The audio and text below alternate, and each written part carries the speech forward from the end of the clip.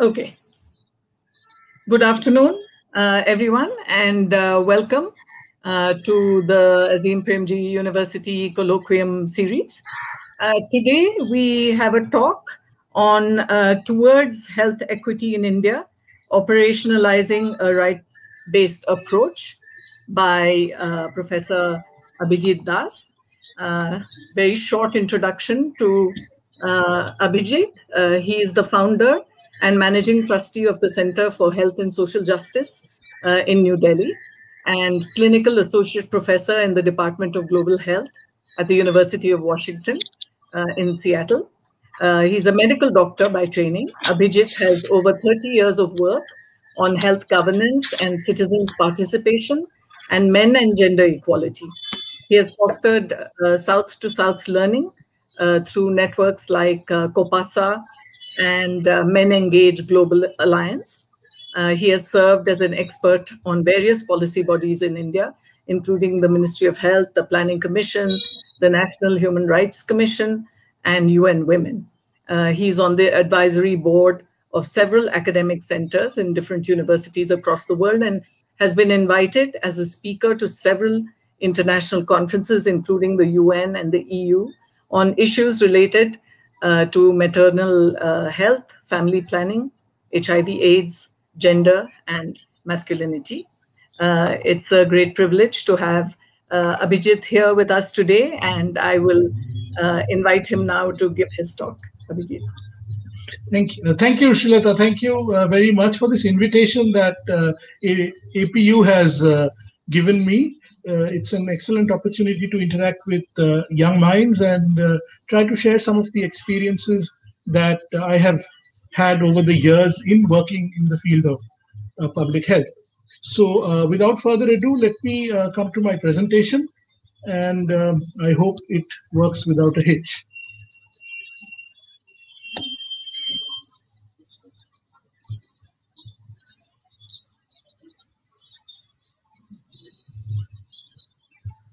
So is that visible?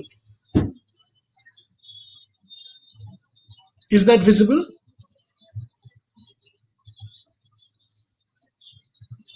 Um, I'm assuming I am uh, visible uh, and audible.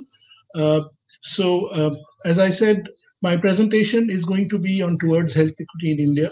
And it's going to be based on some very, very uh, sort of personal experiences, but I will try to extrapolate into uh, what does it mean in terms of systems.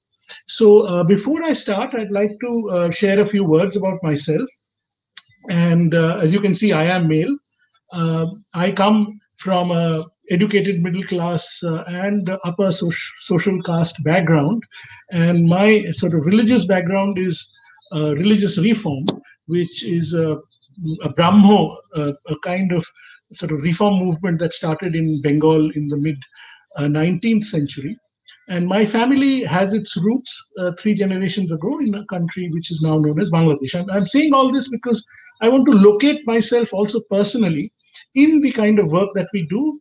And I think that helps us to gain insight into the uh, sort of what we see, what we experience, and what we learn. Uh, another word about myself is my father died when I was 10 years ago, 10, 10 years old, and I was raised by women. Um, mother and uh, both my grandmothers, aunts, uh, etc. Um, because my father died very young, uh, I had to complete schooling through scholarship as a as a so-called socially uh, economically backward but uh, we did have because of family connections access to one of the best schools in calcutta. So i did receive a good education even though uh, because of my family privileges even though we were at that point not economically very well off. I trained as a doctor and i worked in a rural uttar pradesh as a community doctor and uh, obstetrician for about 14 years and uh, in the last 21 years since then, I've been working more on public policy. I trained in public health, and I've been more uh, working more on public policy and programming. But in many ways, the first 14 years that I spent in rural India is actually the uh, forms the basis and the sort of um, inspiration, and the women of uh, rural India actually form the both the anchor and uh, the inspiration for my work. So as I worked in uh, rural um, UP mostly and what is Uttarakhand now, uh, there were certain foundational experiences which shaped the way that my future career, the last 20 years or so, have been um, framed. Mm, these are some of the experiences that I want to share with you. One is the experience of a girl who came in with both typhoid and pneumonia. Uh, typhoid pneumonia was a kind of common parlance that people used in, in rural uh, Uttarakhand, uh, Uttar, Uttar Pradesh at that time, and said used to say that this person has typhoid pneumonia. As a doctor, I used to say, how is that possible? Typhoid, uh, disease of the uh, uh, gastrointestinal system, pneumonia, disease of the um, respiratory system. How do how can they coexist? And here was this woman, very young woman, who came with what I found was both these conditions, and, and I was perplexed. And then I went into her story, and she was first surprised that I didn't know her. And it came out that she was this girl of 16 who had recently married. She was looking like a woman, but I had seen her earlier as a girl because I had gone to her house. And what I learned was she had just been married, and after marriage, she had to spend her first menstrual period, which was winter, in the cowshed. And then I realized that in this part of the world, or in, in that part of the country, there were a huge range of menstrual taboos that women had to go through. And this was something that I hadn't learned at all in Calcutta, where I trained as a house surgeon in the Department of Gynae and Obs in Calcutta's biggest hospital. And then when I started inquiring from the female health workers who I worked with, about 50 of them, I learned that there were health workers there who had procidentia. Procidentia is a condition in which the ut- uterus has been prolapsed and is actually hanging out. And they were sort of going through life without with that. We were talking of getting uh, you know safe motherhood out into the community, but they hadn't felt confident to share their own problems. So I started understanding that hey, women's health actually is a lot beyond what I have learned in the textbook. There were these social cultural conditions which governed women's health and their ability to sort of do something that I was trying to promote as good health practice. And they wouldn't even share because, you know, there were things that they felt could not be shared with a male. But at the same time, I realized that within that community, there were these older women, dais, many of them, who were not only sort of eager to help other women, but they were also very uh, eager to help me to learn these new realities and they had full of they were full of you know jokes they were full of fun they used to tease me etc so this was one kind of experience that i got about rural reality. The other set of experiences that i had was the experience of public systems. And one of the first public systems that we encountered was around the birth of our daughter. Uh, I was a doctor running a community health project. So the plan was that our daughter would be born at home. And I had trained midwives. At that point, we had two trained midwives from England who were supporting our program. So it was supposed to be a great uh, place to have a childbirth in which uh, women could have control. And the medical support was as and when required. But what we found is that for some reason we had to go to the hospital. But when we went to the hospital, the fact that I was a doctor, the fact that I knew all those people before, the fact that we had already connected with the hospital for emergency obstetric care made no sense. My medical opinion, my clinical opinion made no sense, and they were taking judgments, which to me clearly was not the proper judgment. And of course, we went with an obstetric condition. So our obstetric uh, sort of history that we came with, the kind of sort of data I had come with was not respected, and it went into a serious problem there. Thankfully, the consequences have not been disastrous, they've been reasonably good. Then, a few years later, we had this experience where me, my colleagues, and a host of uh, my uh, sort of colleagues, we were jailed because we had published a study in Hindi around risks and vulnerability to HIV, and HIV being a sexually transmitted disease, it was about sex and sexuality. And we realized that conversation about sex and sexuality had touched a very, very raw nerve, not in the communities that we worked, but in among the guardians of society, the political guardians, the social guardians of society. That was another reality. And the final reality, which sort of, uh, in many ways, sort of contributes and closes this circle, was the experience of this young girl called Rani Jaiswal. We came across Rani Jaiswal's story in a newspaper about this 13 year old girl who had been sterilized as a 27 year old woman, mother of three children. We conducted a fact finding and we realized that the public system was under such intense pressure to fulfill targets of family planning, and this was 2001, that it was playing havoc with the lives of people. And because there were targets, people in positions of power were taking other people who were subordinate to them, who were, uh, you know, in some way in a feudal relationship, and trying to get them sterilized to perform their uh, to uh, obtain their targets. And this was, mind you, after the target-free approach had been announced in the country. So these were certain foundational experiences which sort of gave me an insight into how people lived their lives and how public systems viewed people. So what I want to do here is I have a short two minute clip that I want to share with you. What I would like you to do is see this two minute clip and then tell me what do you think is wrong in this situation. I'm going to change the uh, video sort of oops, I'm going to change the presentation so give me a minute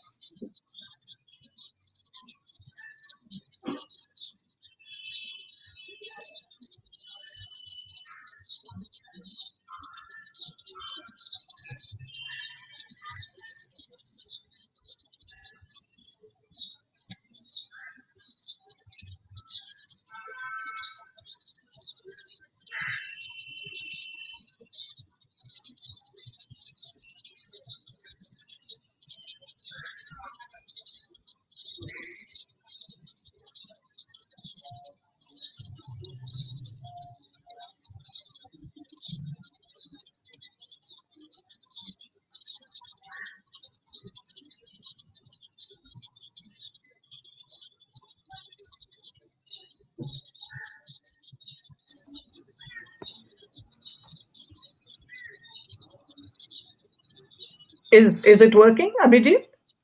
Yeah, yeah. Can you hear my? Can you no, see anything? No, we can't see anything. You can't see perhaps, anything. No, no, we're not able to see anything. Let me go back. Um, perhaps you I missed a step in the share oh, video. I have done share audio, and I was sharing my entire screen. Oh, perhaps you can try it again. Yeah, I'll do that. Or let me uh, now send you the. Uh, let me do the the. I've got the file, so let me um, share the file.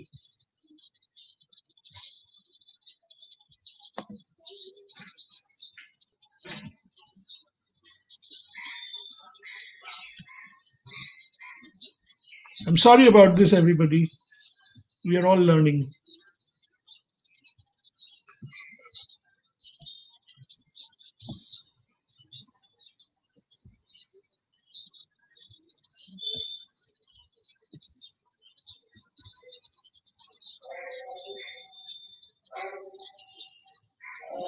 Can you see में कितनी जाँच होती है आप लोगों में से कितने लोग को पता है? हम लोग नहीं पता बहन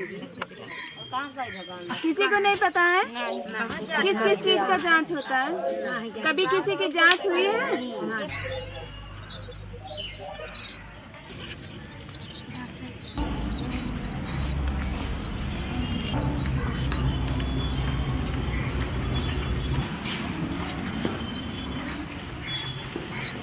Thank you.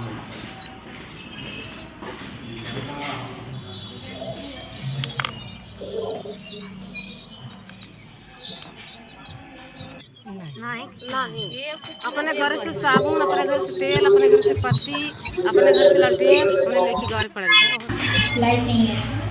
कभी कभी आती है। तो लगभग तीन साल एंबुलेंस हमारा जो है लगभग तीन साल से खराब मैं कह रहा बिना पैसे की जाँच हो रहा है तो क्या है आप परेशान हो रहे हैं? जाइए। बिना पैसे की जाँच हो रही तो कोई दिक्कत होता है? बिना पैसे की जाँच करा रहा हूँ, फिर भी समझ नहीं आ रहा, नहीं दवा दीजिए। क्या जनता है यार? सुविधा क्या है? मन की सभी दवा लिख देते हैं। बाहर से जो जैसे दर्द ज़्यादा हो जाता है सुई लिख देते हैं, टीका सब लिख देते हैं चले आते हैं।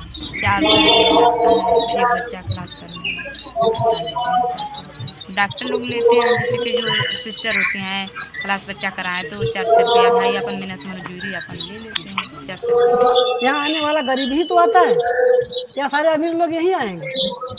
जब गरीबों के लिए खोला गया हॉस्पिटल तो कम से कम उनमें हर सुविधा मिलनी चाहिए कि नहीं मिलनी चाहिए? आशा है एनएम है या फिर जो अस्पताल के डॉक्टर हैं इसमें से कभी किसी ने आपसे आके बात की क्या क्या सुविधा है?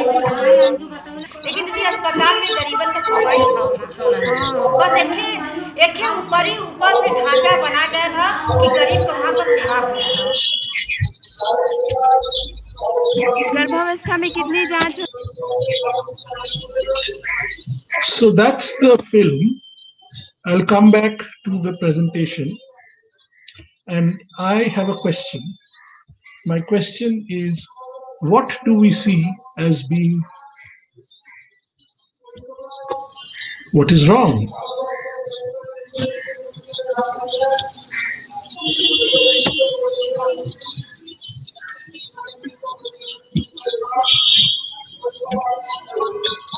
So, what is wrong? What we saw, I hope this time it was visible. What did you think was going wrong? Can I have responses? Can we uh, can we do some responses here?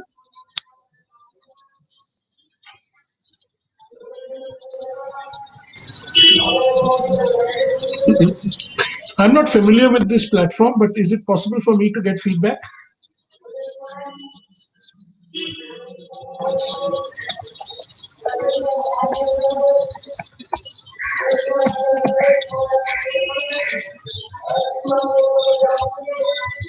So, uh, is it possible to uh, get some feedback from the people on in the colloquium or what they think was wrong? Okay. Uh, it may be difficult. So, uh, any uh, way you can comment in the comment or uh, chat box?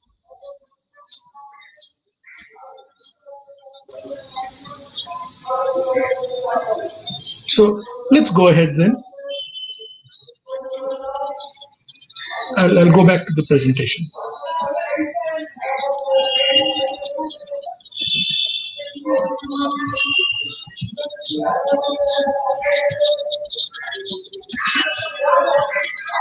I'm sure you have been writing down in your uh, sort of notebook, which you may have next to you, about what you think was wrong in that presentation. Um, what I have seen as being some of the challenges in public health in India are that at one end, the public system often thinks that people are the problem. People have a whole set of unhealthy behaviors, and the goal of the system is to get people to adopt what they feel are healthy behaviors. Healthy behaviors could be preventive, healthy behaviors could be curative, healthy behaviors. And that becomes a slow process. So, what we have because of that is lofty goals, but extremely slow progress. And there is a satisfaction that we are moving ahead, even though there is very, very slow progress and incremental process sometimes. And we are happy with that incremental approach. However, what happens because of this is oftentimes we miss out the reality of the poorest and the most marginalized.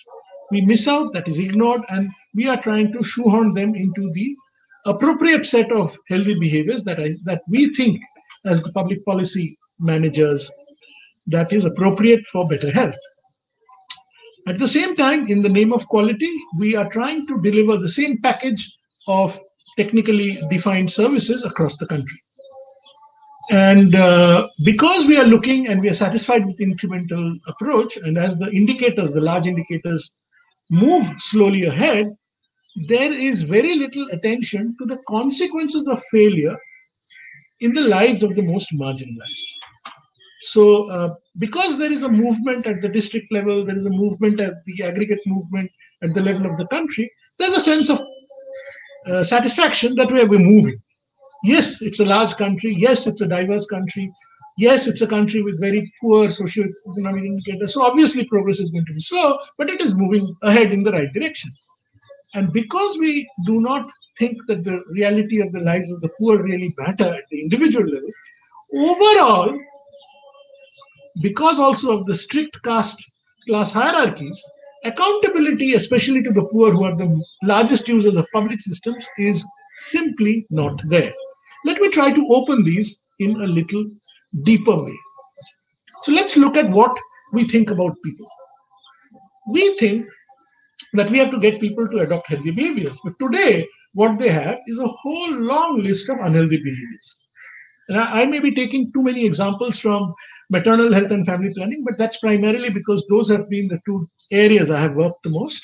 So, in terms of uh, the, the, the domain of maternal health and family planning, it's always they get married too early, they have too many children, they don't use contraceptives, they don't go to hospitals for medical care, they go to the informal providers, they go to dais, they go to quacks, they go to, and of course they're dirty, they don't wash hands, they squat, they, you know, they do open defecation, they're, so, so the whole set of, and then even when we give them medicines, they don't take the medicine. So this is the sort of dirty, uh, completely sort of whole set of wrong health behaviors. How do we get them to act and behave in what we think is the model health behavior? And I want you to hold that idea of the model.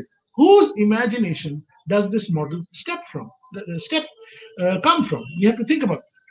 And then this lofty goals business. These are some of the indicators for NRHM. NRHM started in 2005, was supposed to be over by 2012. And these were the so-called, and I take the example of NRHM because NRHM in many ways sort of gave a tremendous uh, boost to the public health system. The public health system has performed the best since NRHM. But if we look at the progress, we find that IMR 30 per thousand was the goal in 2012. In 2018, we still haven't reached 30 per thousand. Maternal mortality was supposed to come down to 100 per 100,000 live births. In 2018, we still don't have that now. Uh, total fertility rate was supposed to come to 2.1, and this is, of course, it has been supposed to have been there since 2000. We still haven't come there. Tuberculosis, DOTS has been going on for quite some time now, and we're supposed to maintain a 85% cure rate but we still have two and a half million new cases coming up each year. So the infection is still spreading quite extensively in this country. Now let's come to the second issue, the issue of the most marginalized, whose reality we often sort of completely fail to comprehend. These are two pictures from an area called uh, Kalyan Singhpur block in Rayagada district in Odisha. In this these are uh, tribal women from a tribe called the Kondhas. They are the plains Kondhas. Now, these Kondhas are forest dwellers. Kondhas do not have literacy. Kondhas don't even speak Odia. 56% of uh, Rayagada is tribal. But what do we find? Do we understand their reality? In no way. All the ANMs do not, ANMs and ASHAs are not Konds. They are all our health education takes place in Odia language. This is a study we did about four years ago.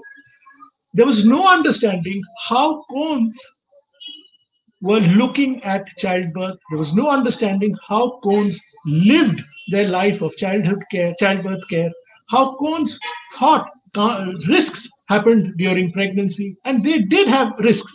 They were only seen as a set of people who did not have the desirable behaviors. And how could we, get them into institutional delivery? How could we get them to have skilled attendance at birth? And what we find is there was this effort to also have halfway houses. There's a picture on the top right, is a halfway house. They put a TV in that halfway house. Now, this was talking about Kond women who don't have a roof on top of their head. They do not know what is a TV. So, in this particular dormitory, these women felt like they were in cages. If you look at the woman on the left with that baby, they live in a set of uh, bamboos or set of and a thatch without walls. And we were putting them into a room with four walls, a roof, and a door with a lock. They were feeling uh, entrapped. They were feeling imprisoned. They ran away. They were given milk. What you see on the left is a, bottle, is a bowl of milk. They don't drink milk. So there was no attempt to understand how these people live their lives. And we were trying to get them into institutional delivery. We were trying to get them into referral transport in a place where the only place way which women are transported is what you see there. A woman in a blanket carried on the shoulders on a bamboo. Do we think this range of services, which is appropriate for many places across the country, will work in the lives of people like the Konds?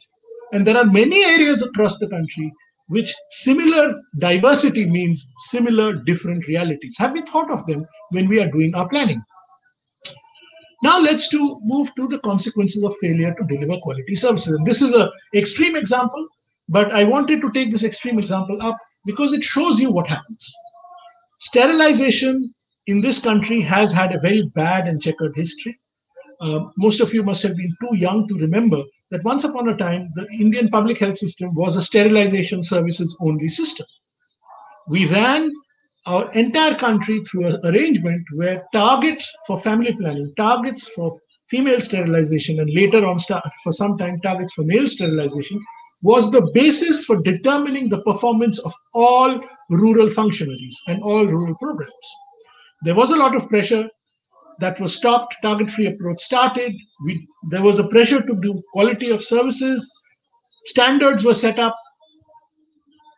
People went to court. We were part of the group that went to court to ensure that quality of services were, uh, you know, were being complied with. And here in 2014, we have a situation where in one camp, finally 15 women died because no quality standards were maintained. We are not the quality standards clearly say you can't, one doctor cannot do more than one team cannot do more than 20 operations in two hours. Here was 80 surgeries in five hours. The quality of the medicines was not checked. Women died.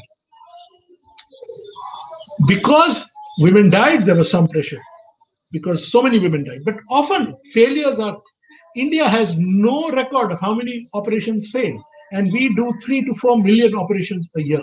So we don't know how many fa failures take place. Consequences of failure is a new childbirth. Consequences of failure could also be a maternal death. We have found that. So there is absolutely no interest in understanding.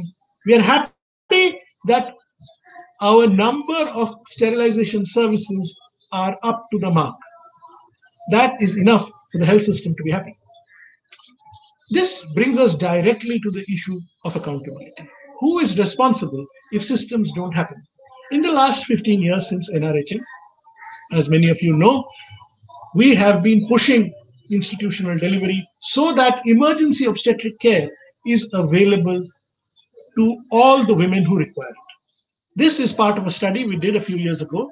Uh, I talked of Odisha, I talked of uh, UP in the film. Now I want to talk a little bit of Malda district in West Bengal. We were doing a set of uh, maternal death reviews. And what we found in Malda district, the eight maternal deaths that took place that we were investigating, seven had reached a district hospital or a medical college. So they had reached a tertiary care hospital. But once they reached the tertiary care hospital, a whole new set of problems began. There were delays in treatment beginning. They have reached there after three stops. They have reached there after it has been decided that it's a life threatening emergency. But it takes them two hours to set the system of care in place. And two hours is enough to kill the woman. So obviously, this woman died. We know what we found is that while drips were put in, but important things like medicines, blood, investigations were not provided on the spot. The family was asked to arrange for blood. Here was a family which was coming from rural Malda. They didn't know where blood was available. The hospital didn't have blood available. So, delay in starting treatment, delay in getting blood, which is the most important of, uh, uh, material for emergency obstetric care, is not available even when we have invited millions of women, 25 million women, to come to hospitals to deliver. We have given them the invitation, but we don't have the arrangements. This is like having a marriage party, sending your invitation out and not arranging for the food. We will never do it. But because these are poor people, because these are rural people, we are happy with incremental support.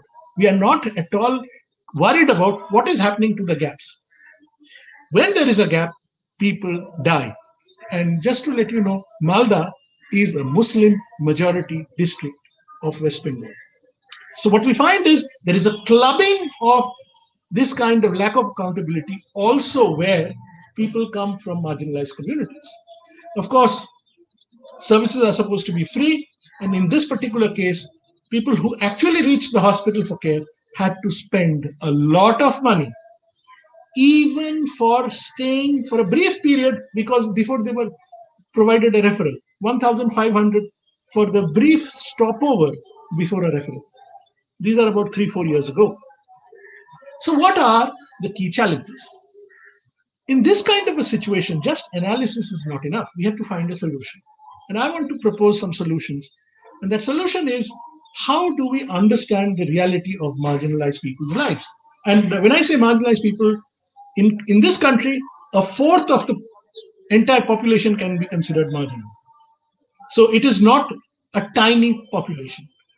How do we design appropriate interventions for marginalized people in this diverse country? And then how do we know these are working? So here I want to introduce you to the concept of health equity. Doctors often say, give us evidence. So one of the things for a public health professional is to understand how do we understand existing data to identify inequities?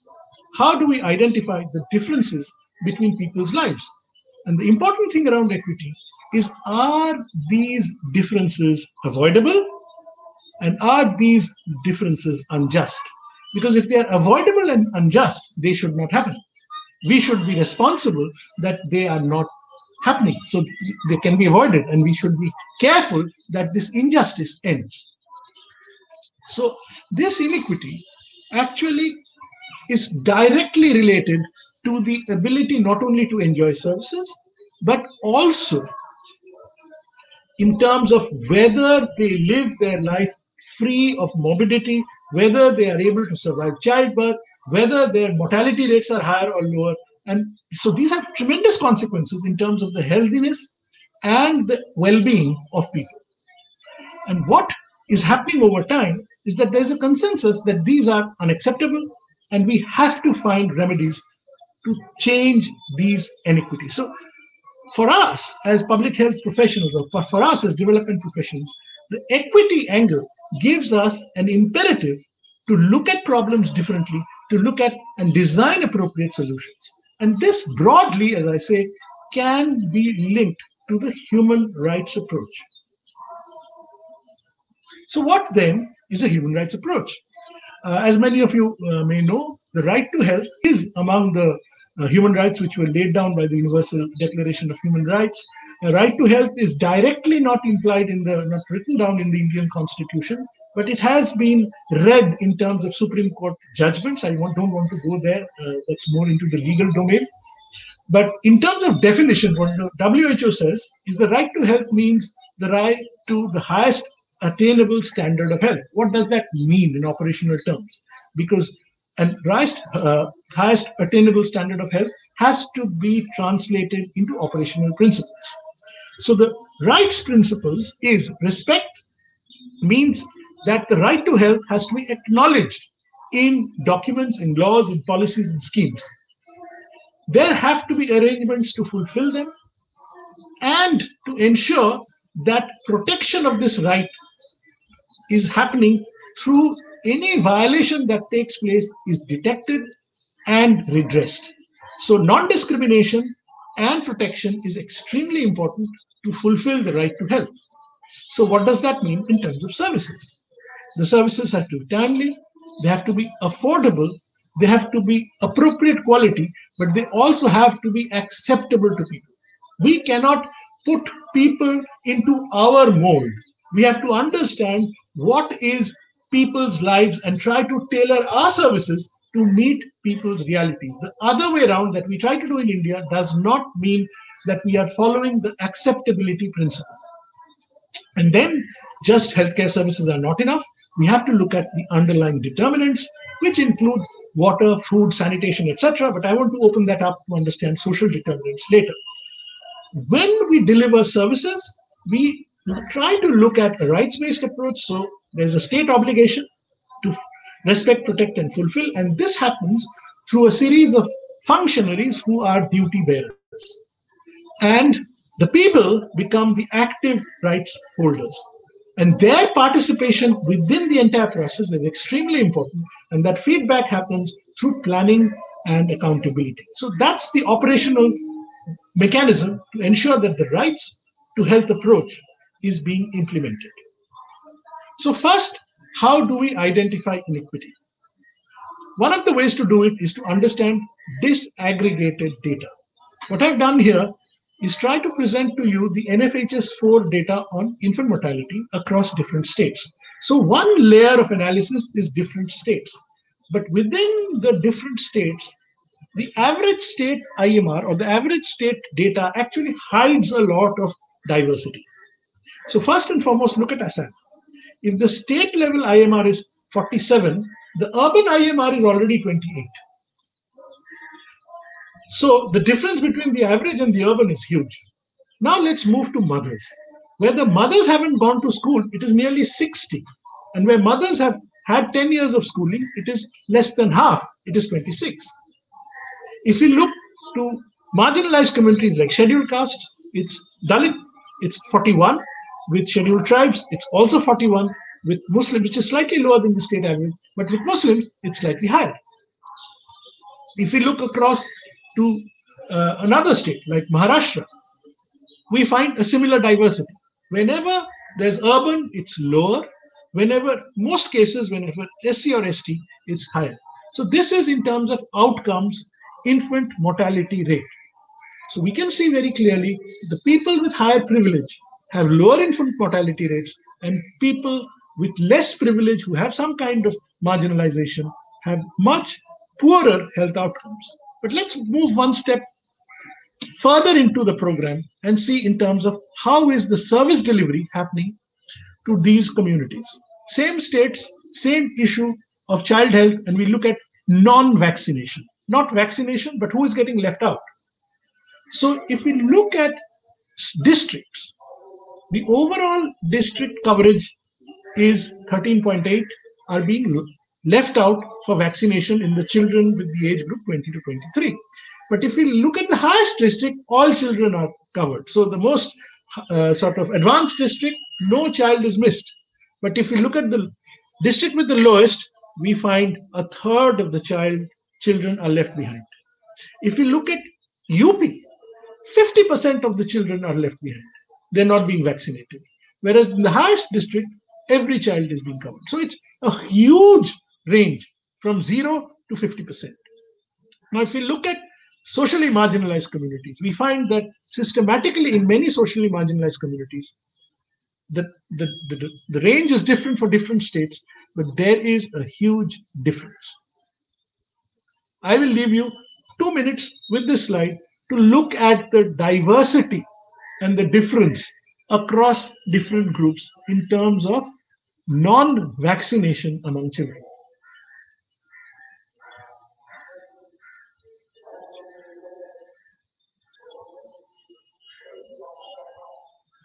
Some people are being left out. Some people are getting missed.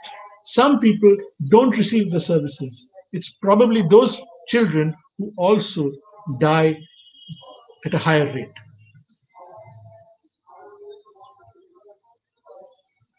Why don't they receive services? Is it because they're backward, they don't come, or is it there any other reason behind it? let's move ahead. So, how do we understand inequity? The first is to understand or open up equality.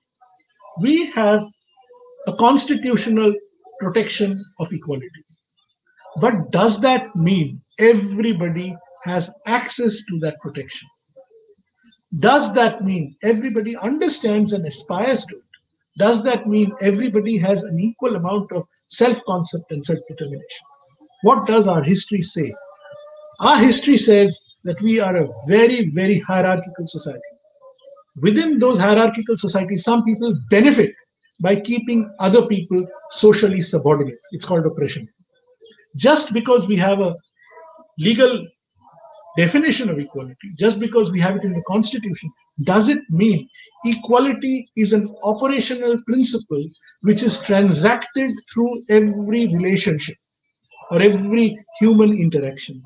And I'll leave you with that thought because I think that's something that we have to understand when the provider and the patient relationship is taking place, community and health provider relationship is taking place. Is it taking place through the prism of equality? Does it happen through the prism of respect? Then I want you to understand the difference between marginalization and exclusion. Marginalization usually means further away from the center. People who are living further away. They could be economically, they could be geographically, they could be physically. But then there is the issue of exclusion. People who are close to the center but do not exist within our imagination because they do not count as people who are important in our worldview. And in a world or in an India in which social hierarchies are so prevalent, it could be caste, it could be religion, it could be gender, exclusion, di- uh, discrimination, and stigma follow each other. And I want to talk a little bit about the stigma later on. Then is the question is if we do not realize this, how will we disaggregate the data? First is to understand that our society is fragmented, our society is very diverse, and then we can look at what the data says. The data can be quantitative data, as I uh, showed it to you a little while ago. It could also be why do people behave the way that they do? Are people stupid? That is why they do this? Or do they have a different worldview? When we went to uh, the Konds, we realize that the way they see life, they see health, they see childbirth is completely different from the way the health department looks at childbirth.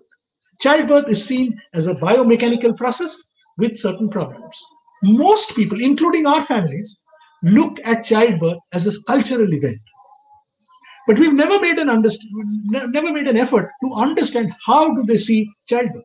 We've never made an effort to see how is menstruation seen as a polluting phenomenon. And we then are going into menstrual hygiene. We are talking of clean menstruation, but we are completely ignoring the fact that whenever most Indian women are menstruating, they are considered unclean, dirty, and polluting. And that has nothing to do with whether we're using pads or not. We have never been able to tie the two together. In this country, the discipline of medical anthropology is a very, very new discipline. But that discipline needs to grow. I'll talk about it a little later. I want to bring you back to the issue of model behavior.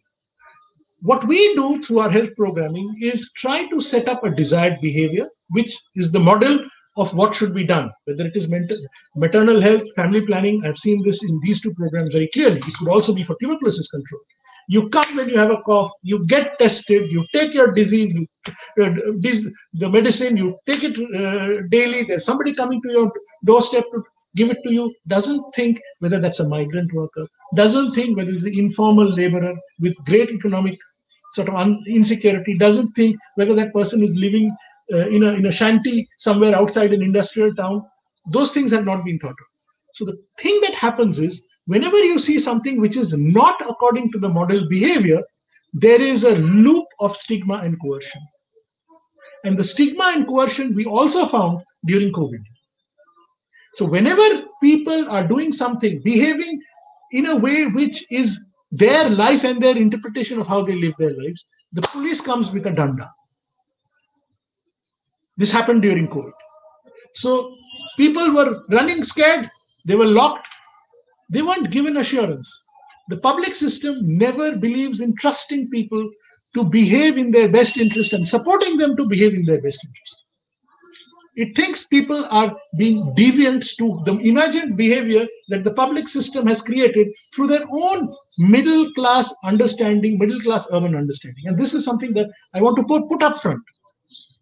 Therefore, we have to also see how we work in rural communities, among poor communities, from the, our own historical, social, cultural background, because we often carry those sort of um, internalized in our own heads and in our own expectations. And this is something that I've seen consistently in the way the public system deals with people. Another thing that we need to understand, and this is drawing upon this kind of understanding, is the social determinants of health framework. I'm going to put these ideas in front of you, and I hope you go back to more literature. The social economic, uh, social, social determinants of health framework actually says the ability to enjoy health and well-being depends on a set of you know layers of factors. There's the structural determinants there are political determinants but there is also the issue of social class ethnicity racism etc and there is a space where you can create social capital and there is a space where you can create social discrimination and these things actually can work in the interests of the poor if there is solidarity. And the other thing is, these work in interrelated ways. So, if we understand the interrelationships and we understand where we can leverage the change, we can create the change in a more meaningful way. People's lives have to be understood through their own realities. We cannot force our realities. We have to understand their behaviors. We have to understand their psychosocial factors. And some of it will be negative, will not harm, uh, will not help. But how do we build upon that? We cannot tell them what you're doing is wrong. What you're doing is not modern, which is not culturally appropriate. Because then what we are doing is we are trying to force our way of thinking on people's lives. And people will resist. Marginalized people are also frightened people. So, in terms of academics, what does it mean? We are in a university. What it means that health is not only the biomedical approach, the column on the left. If you look at the column on the left, that's what what is taught in the medical college. Some of the topics are not taught that well, but on the left is medicine and public health. But on the right is a whole range of associated disciplines that we have to bring in to our understanding of how people live their lives, which impact their health and the way services can be deli- delivered. So, this is an integrated conceptual framework which draws upon various disciplines. And I'm so happy to see an institution like APU actually making this effort to draw these things in. Because people's lives are not isolated. And it cannot be, you know, while the medical people look for solutions within the body, health actually is the body living in an ecosystem. And if we have to talk of that ecosystem, we have to understand the ecosystem. We cannot shoehorn the body and the person to behave in the way we feel our ecosystem works. So, how do we then design appropriate interventions? How do we get communities to take charge of this kind of intervention in which they are the beneficiaries but they are also the principal actors. So first is, this is drawing upon what is called the realist approach to evaluation, which first says that the social system is a complex system. And social change has to happen in that complex system, but it, since it's populated by living beings, it is constantly adapting. So it's open, adaptive, complex. This gives us opportunities. This gives us spaces in which self learning can take place to take the process forward.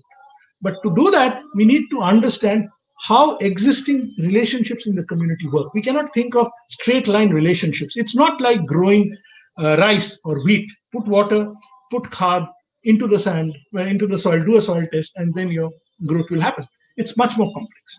So relationships have to be understood. And those relationships help us to build what is called the context mechanism outcome hypothesis. So, how does this kind of intervention work in this kind of context to provide this kind of outcome? So, this is something which uh, we have done. Uh, I don't want to explain that too much. It is the subject of another talk. But this allows us to put people in the driver's seat because we are trying to include them within the equation as active agents. And it's not designed by us. It's a co it's a collaborative design of people trying to become understand their own reality, take steps which are appropriate for their lives for an outcome that they have an investment in. It is not an outcome which the government wants to show as an indicator. It's an outcome that people want to have in their lives. So how then do we develop interventions in real terms using this right to health approach from realist to right to health? So on one side is the availability and access, and I've marked it in green. Is these are things that we are thinking about today. Where are the service delivery points? Are the personnel adequate? Is the supplies adequate? How do we talk of delays? But then the issue of quality is only assurance and standards. We are doing very little to ensure that the attitude of providers, the issue of accountability, the issue of cultural competence is being dealt with. The acceptability part is completely being left out. So if you look at the three boxes of access, quality, and acceptability, most of the interventions today are in the availability and access box, a little in the quality box, and nothing in the acceptability box.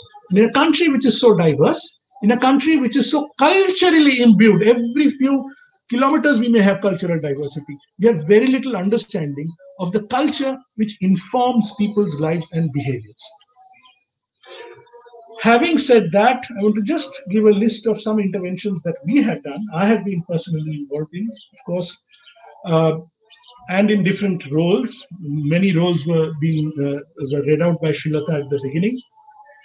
So this is a set of interventions that I've been personally involved in, appropriate standards and guidelines, training of providers on what, what are called soft issues, participatory planning with uh, people and training of district managers, peer-to-peer uh, learning among civil society actors, uh, community-driven accountability mechanisms, community-driven advocacy, interventions in the National Human Rights Commission. I, as I today, I'm also a member of their health advisory group, and of course, using the courts for creating checks and balances and new standards. Thank you. If you have questions, I'd love to have those now. Over to you, Srilata. Thank you so much, Abhijit. Uh, excellent, uh, very, very uh, wide-ranging talk. Uh, I think that was uh, really um, for all of us. Thank you for sharing your experiences as well. That made it much more lively and real, actually. I'm going to ask my own questions first, giving a chance to people to put their questions in the comment box. Uh, I request all those who are listening to this talk to please enter your comment, uh, your questions into the live chat box because uh, uh it's not possible to have a direct uh, interaction, unfortunately. Uh, but let me start, and while we are interacting, hopefully others will, uh, will add your questions. One of the things that and um, uh, you know, I was uh, sort of uh, taken by that when you said that, uh, uh, you know, we have very lofty goals and uh, the goals are set by a certain people and they are meant to be fulfilled of and that we're making incremental progress. And we're happy with having made incremental progress. But um, you know, now the uh, NFA data has come out, and uh, actually very progress. And in many areas, we've gone in the wrong direction. So we are faced with this uh, situation where even that incremental uh, is not taking place. You know, we can't even have the comfort of that. Um, what would you say uh, you know, are the two or three urgent things that we need to take care of? Uh, and that's my first question, actually.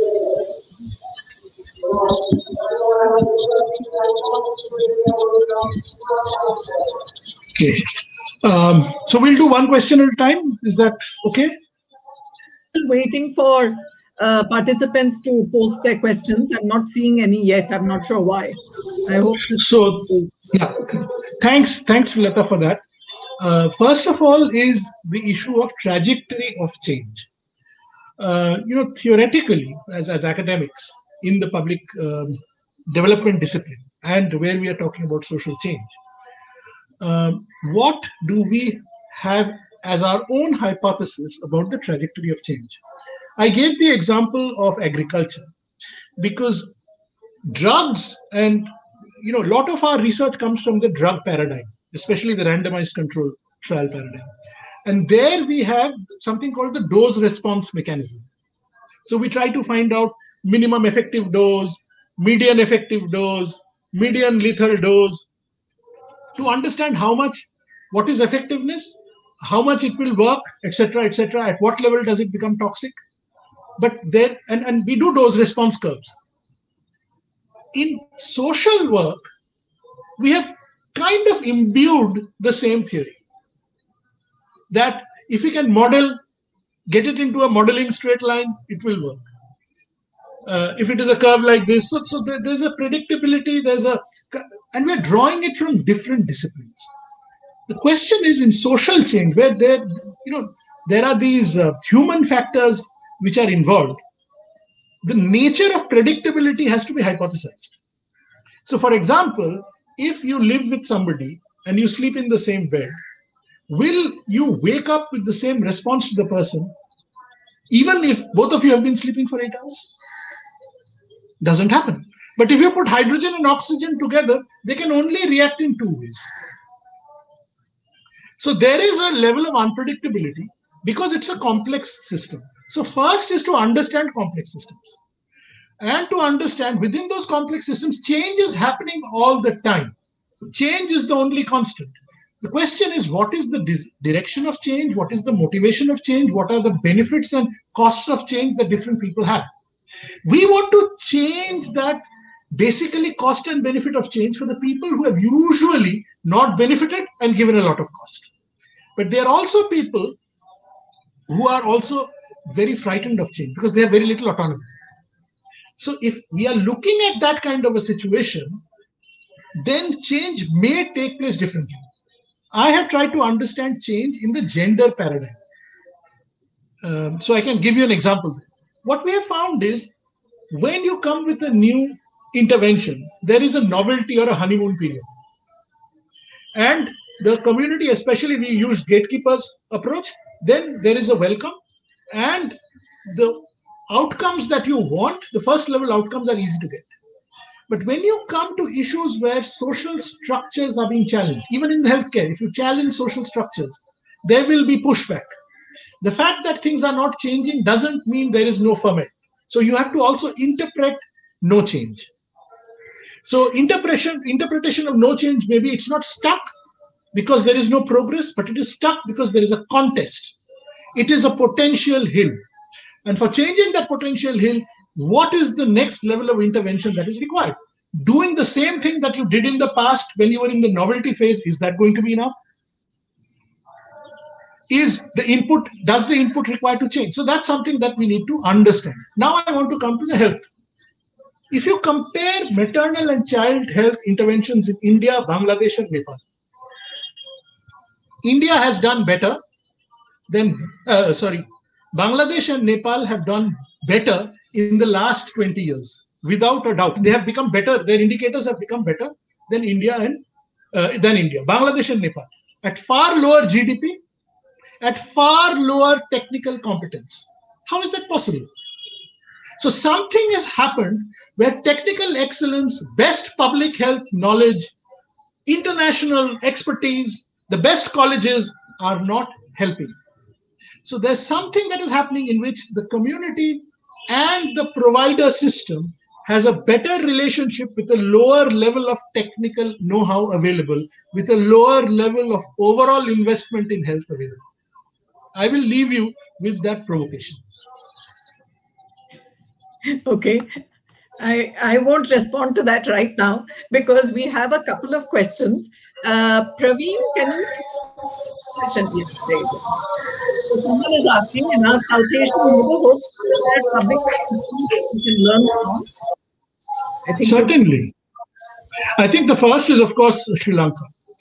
Uh, Sri Lanka has a health system which is completely different from India, but uh, it's also under stress. So I think Sri Lanka controlled its ma- maternal mortality long, long ago. We don't need to go to South Asia. We need to look. We can look inside. We can look at uh, Kerala, how Kerala organizes itself, and as I said, look at um, Nepal. Look at Bangladesh. Completely different kinds. So Bangladesh Muslims, huh, the breeders, the irresponsible breeders, according to India, they've controlled their fertility rates tremendously. Uh, they uh, look at uh, Nepal, completely isolated. No medical colleges. Indians are going and setting up medical colleges there. They have been able to control their maternal mortality with far less availability of gynecologists and obstetricians. So my question here is, probably we need to find different systems. We need to find ways in which people also define their own solutions. We cannot have the solutions defined from, um, I won't name names. Uh, just to uh, kind of add add uh, to that uh, question I, and you know take this discussion a little further isn't it also true that india is not i mean it is not homogeneous at all right? There are many places in india that are doing better than bangladesh and nepal let's say. And there are many places that are doing much worse. So what you said that you know we can learn from within our own country i think that's that's very very true.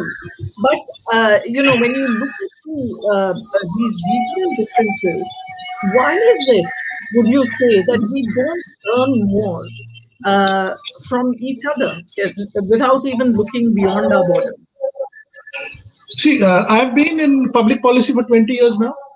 What I have learned is Indian public system does not respect Indian public health, Indian expertise, especially homegrown expertise. If I had an international university funding my work, there would be acceptance. Today, we are only looking for international acceptance. Uh, it is extremely perverse. 15 years ago, 20 years ago, when NRHM came out, and NRHM is unique in that way. NRHM was designed by Indian experts with field experience. Whole range of us, people like me, with 15, 20, 25 years of field experience, of lived reality, of living in rural communities, came together to design NRHM. At that point, we had access to ministry, we had access to Nirman Bhavan, we had access to states, and we had conversations, and we did none of us took money. That's extremely important to the government of India is extremely reluctant to pay money for advice. Today, what has happened? These experts are being hired from international who are whose paymasters are international agencies. Huge international sort of agency supported units are sitting next to the chief minister's office in many states and they are private enterprises. So the person sitting is often an ias driven by a school of public health from the us or england. So just look around and see how many technical agencies have become popular in india. Who pays for them? The government of india is not paying. They have easy access to so the government of india is getting free expertise. It's free for them because somebody else is paying. When we were free we were volunteering. None of us took grants from anywhere to pay. Today that has collapsed in 10 years. And that was perhaps a honeymoon period of 4 to 5 years when this happened. And it was then systematically undermined. I don't know if whether this is the answer to your question, but we have to respect local expertise. I have I remember I was part of the health steering committee for the 12th family, uh, 12th uh, final uh, you know planning commission uh, 12th five year plan. And one of the things that we suggested is that why can't you know we have the international global challenge fund to do solutions in indian reality. Why can't we set it up from the ministry? Why can't we promote Indian practitioners, Indian universities to work together to find uh, locally relevant solutions? Why does it have to be University of dash dash dash dash dash in that country, which finds an international partner which hires Indians to do it? Because the solutions have to be very, very local. And then what are the parameters? Universities today are being pressured to follow international donor parameters. The international donors are deciding what is the best solution because the MDG and the SDG has said this is going to happen. But they have no theory of change. The theory of change has to happen local. We still, very simple example. In India, before we stopped uh, TBA training and TBAs were delegitimized overnight, we had these disposable delivery kits. I was working in rural Uttar Pradesh and rural um, Uttarakhand, and I realized that cutting the cord with a blade is extremely difficult. Blade is very, uh, the cord is very slippery, and couldn't do it. We as doctors were using, you know, look at a, a scissor. It has uh, support at the bottom, it has support at the top, and you cut it like this. But you take a blade on a slippery thing, you can't do it. You can't put your hand behind it; you'll cut it. What I realized, the Dais were using sikka in Uttarakhand. So I said, boil the sikka. I looked at it, I found a Nepal kit had actually sterilized pieces of wood. We haven't done it in India because nobody went and studied how childbirth is taking place. Childbirth is a caste tradition. We haven't studied that. That childbirth is polluted. So uh, you know, I know there are medical anthropologists in your discipline, but the discipline of medical anthropology is hardly there in Indian formal universities. So, if we are going to help Indian community, especially rural marginalized communities, to take care of their health, we have to understand how they are taking care of their health today. Today, they are not making an active effort to stay unhealthy. They are taking an active effort to stay healthy. The only thing is they're doing it according to according to principles which we disagree with, for which they have belief systems. We have evidence. But we have to match our evidence to their belief systems, and it can be done. They often have, you know, I, I when I started working with belief systems, I used a simple three helpful, harmful, harmless. If it is harmful, then let's have a conversation. If it is harmless or if it is helpful, then we have to promote it. They have to also get a faith in their own behaviors, in their own beliefs. We can't shatter their belief system to create a new one. They already shattered people. Thank you. Uh, can we have the next question, uh, Praveen?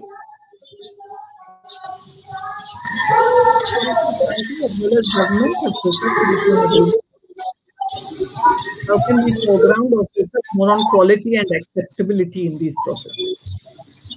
Well, I've already talked about something around quality. Uh, is uh, uh, sorry on acceptability. Acceptability is to also understand what is people's lives like. So therein, very strong call for medical anthropology, very strong call for social uh, I hate to call it science. You know, sometimes the social, the moment you call it social science, you're trying to copy medicines or when a copy methodology comes from physics. Please don't do it. Uh, let's try to use qualitative methods. Let's try to understand people's, you know, beliefs, uh, worldviews. And, and as I was talking about in the Odisha case, people do have a fear of childbirth, but we didn't try to understand what is their fear of childbirth. What we did is try to prove to them that uh, anemia is bad and they don't know what is anemia. So instead of building upon their fears, building upon their concerns, building upon what they see as good, we completely try to force a totally different alien system into those people. And and this is not just because they are Konds extremely, they're not primitive at that particular group, but this is even for you know people like uh, middle class Bengalis are doing things quietly on their own, which the government doesn't do we all live our lives full of our own belief systems, which are probably not according to the uh, you know the rule laid down by WHO and the you know, HFW. We do it because we know we can subvert it. But when it comes to the poor, we try to force it into their lives. Why do they use coax? Because there's nobody else uh, available there. That I've done studies in quality of care, and I've realized that the people's first concern is relief you know when i was a doctor i used to hate giving people injections because that's a rational therapy but people associate an injection with relief. People associate the quack with somebody who will talk to them politely will not be disrespectful. Gali nahi dega. Paise nahi mangega jab paise nahi hai. So if you're going to talk quality, you have to also understand what the quality expectations are. Quality is not just parameters which are laid down by sort of technical, it is also expectations. We have to build upon those expectations. We have to build people's own sense of esteem that they can expect, they can aspire. And that is where we have worked on in our accountability framework, is that accountability starts from the from the self-belief that I deserve. So these are little practical things cannot be done with the help by the provider today as they are trained. So we need a whole set of mobilizers to work with the health system. What what can be called the you know what we have in the technical um, sort of not in India the medical social worker. There is a role for the medical social work business even in community health, and that's where uh, a lot of civil society NGOs can work. During the NRHM period, we did this community monitoring, and one of the things that we said is the community monitoring has to happen outside the frame of the health department. And I'm glad to say that in one state, Maharashtra, 15 years later, it still exists. So it's possible in India to keep a system outside the health system, which interacts with the health system on a respectful one on one basis. Thank you. Next question, Praveen. Thank you. Some of the traditional beliefs of maternal health and is unrecognized and unaddressed by the health see this? Well, everybody has a health belief system. Not only tribal people, you and I have health belief system. Our health belief system is that dawa khayenge to theek ho jayenge. Some of us feel that dahi should not be had in the morning. Some feel dahi should not be had, had when you are having a cold. You should not have this medicine in uh, this fruit in this um, season, that fruit in that season. Those are belief systems. Because if you go to the level of uh, carbohydrate, uh, protein, and fat, that is not what is. Uh, they will not. Allow, they will not determine it that way. It comes from our own intrinsic understanding of vata, vata, pitta, and kapha. Now, vata, pitta, and kapha is belief system, or is it evidence? I leave it to you. If you can prove vata chemically, then do it. Uh, so the question is, we all have in in these what I would call we are non-modern cultures in, in, in, in some ways. Even modern cultures have their belief systems. We have intrinsic belief systems. The question is, some of us are unfortunate that their belief systems are considered harmful, and then we add the superstition label without trying to understand why. Superstitions are also survival mechanisms. When you have no other system to sort of help you negotiate life, understand the unexplained in uh, the world, you use superstition. How many of us believe in God? How many of us have evidence God exists? A simple question to all of you. If you have not seen God, if you have not seen, got a proof which is demonstrable, then science wise, there is no evidence. But all of us believe in God. God has become the reason why people are killing each other. Strong belief system. So, belief systems can be strong motivation. The question is, how do we look at somebody else's belief system? Do we respect it? Do we try to explain to them from first we try to understand why they have that belief system and then try to align their belief system with being with well-being? Because our desire is to reach well-being predictably, not to change the belief system necessarily. Then all of us will have to become atheists to start with.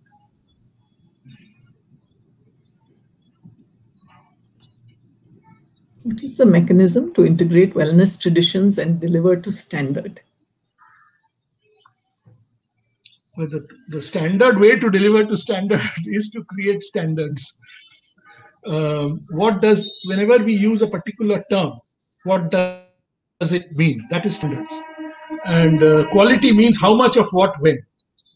So the more we can set things up, and this is like uh, dosage for drugs this much dose this many times a day in the morning or in the evening So the more we can build anything into that frame, not everything is buildable into that frame, but the more we can create interventions into that frame of what, when, how much, and how to count it, we can create standards. And accountability happens when you count it and you find things are according to what you expected, or there is a gap, and then you try to fill the gap. So that is accountability. Community in the accountability process is who is doing the counting, who is doing the setting of the standard. So there is a technical setting of the standard, but there has to be a acceptability setting of the standard. Then there is a compliance to the standard in terms of delivery of a service, and then there is the monitoring of that standard. Is it making sense?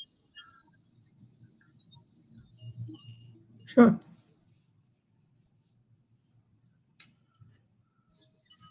So essentially, what you're saying is, in order to deliver something to standard, one has to first set those standards and achieved.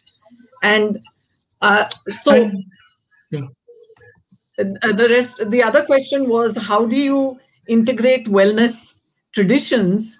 Uh, you know, are wellness traditions even amenable to setting of these kinds of standards? I mean, because standards again uh, sort of implies uniformity. And I think what you're saying is that you can't have these uniform uh, sort of um, uh, expectations of uh, all the multiple wellness uh, traditions that we have in in India and elsewhere in the world as well. So, who is setting the standard for whom? Is my next question. The moment you try to set standards too far away from the people who have who are expected to comply with it, the more you are going to be in the tricky area of expert monitoring. But if, for example, what do we mean by wellness? If, you know, uh, when you come to the issue of health, if I ask people down the street, are you are you healthy? Most people will say yes. But if we put 100% people into the WHO health criteria, none of us are healthy. Okay, there's so many parameters. And then there is not only the absence of disease and infirmity but also so it's a very complicated one. So question is what do we define as being healthy? So i think that has to be negotiated in terms of a person's own understanding and what we know through science for example eating a particular kind of food predisposes you to a particular kind of disease for example, people of my males of my age are either diabetic or atherosclerotic or hypertensive. I am. So uh, not diabetes. So the question is if wellness means to keep this under control, what does it mean? It means disease. Uh, you have to take drugs on a regular basis, but you also have to eat something which is tasty, which you like, and which you can afford, and you have to do some exercises which you like. So there is some compulsion that you have to do it. So my desire for well, wellness has to be inside. It cannot be a prescription that somebody else does for me. I have to seek it. So I know my friends who know they are unhealthy and don't seek any care, even though they are extremely well educated. And they know that they are 25 kilos overweight and they won't move. And there are other people who are, you know, running and healthy. So everybody need not live up to 95. Now the question is, are you what are the consequences of ill health? You're willing to manage it, your family is willing to manage it. And I'm taking an example away from the rural reality, from my reality. So it, everything is not only rural poor or urban poor, it is also us. We don't live healthy lives. Look around the street. How many doctors are smokers?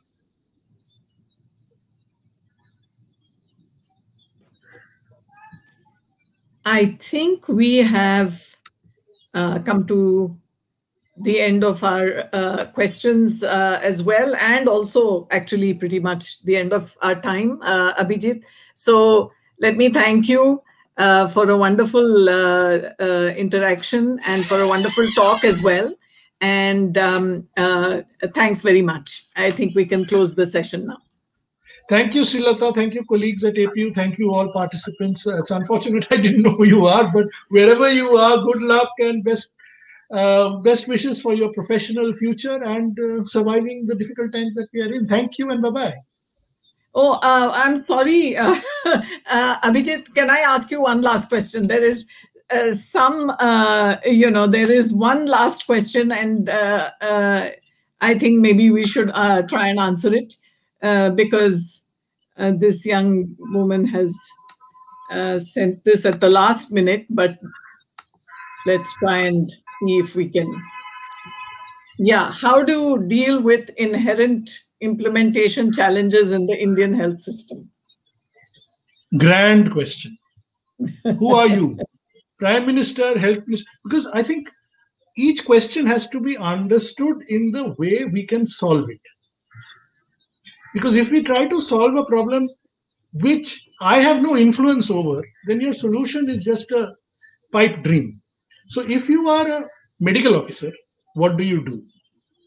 If you are the DPMU, District Program uh, Management Unit uh, Program Manager, what do you do? It's going to be different from if you're the Health Secretary, if you're the Health Minister, or the Prime Minister, or in the PMO, because uh, the answer to that question is not one. And I definitely feel that each of us, if we can map the influence space that we have, and within that influence space where the health system operates, there will be solutions which are within our control, and there'll be solutions outside our control. So, things that are within our control, we can create definite plans and monitor. Things outside our control, we will have to find the next lever of influence to that space. And it could be either sort of, as we say, it could be vertical, it could be horizontal, it could be hybrid. Either so I'm not giving you a straight answer because a straight answer is there is no straight answer. You have to first locate yourself. For a person like me, I located myself outside the system, but trying to influence the system at different places. So there were times when I could influence the ministry at the highest level. At this point, I'm trying. My level of influence has become through the NHRC. So what we are trying to do is set uh, patient rights. So at the other end, because I'm a civil society worker, I also influence it at the level of the community. But I'm outside the health system, so I cannot have any influence on the way the service is delivered. I can have an influence through the way the community responds. I hope that answer uh, that uh, clarifies that answer in terms of the complexity. Yeah. Thank you, Abhijit. Now we definitely will end. I won't call you back. Thanks so Thank much. you. Bye bye.